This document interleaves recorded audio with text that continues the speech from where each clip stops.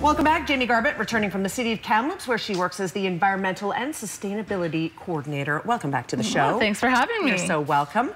Uh, just in time for the weekend when the weather gets uh, really nice again, we're going to see uh, Public Works having their open house this Saturday. Yeah, and this yeah. only happens every two years and it's an amazing event. It's the one time of the year when we actually open up the entire yard. So we welcome the public to come in and get connected with us and talk to different uh, equipment operators. Uh, you can get in a boom truck. There's so many fun activities and it's all free, which is amazing. So um, our HR department is gonna be coming there as well. So you can ask questions on how you can maybe um, get a career within the city. So there's so much to see and do. So Good family event. Yeah, and it's a barbecue as well. Yeah, definitely great for, for the kids. Good. We have pictures. Let's mm -hmm. I'm losing my voice. Yeah, so our carpenters every year always makes a bunch of bird houses. So it's first come, first serve for that, but you get to paint your own bird house, which is great. Nice. Yeah, kids love that. And like I said, you can get right onto the equipment and test it out. So they open up the mechanic shop and you can talk to the mechanics. The kids can get right in there and, and test out some of the equipment. Um, we do have some operators. Um,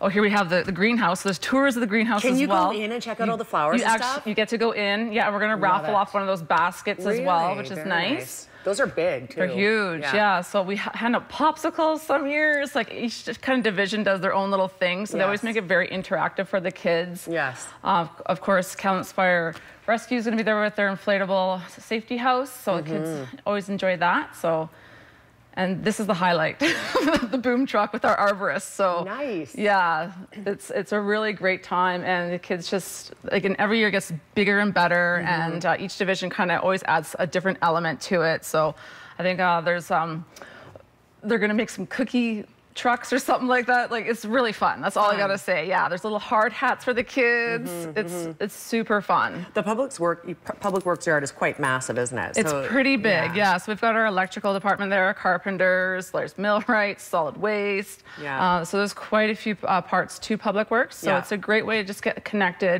and see what we do on a daily basis. So you can talk to equipment operators, get into one of the equipment pieces and move it around. You saw one of those images with the child, you know, moving some mm -hmm. dirt mm-hmm. around. So it's just, mm -hmm. it's great. And it's just a great way to just see what we do.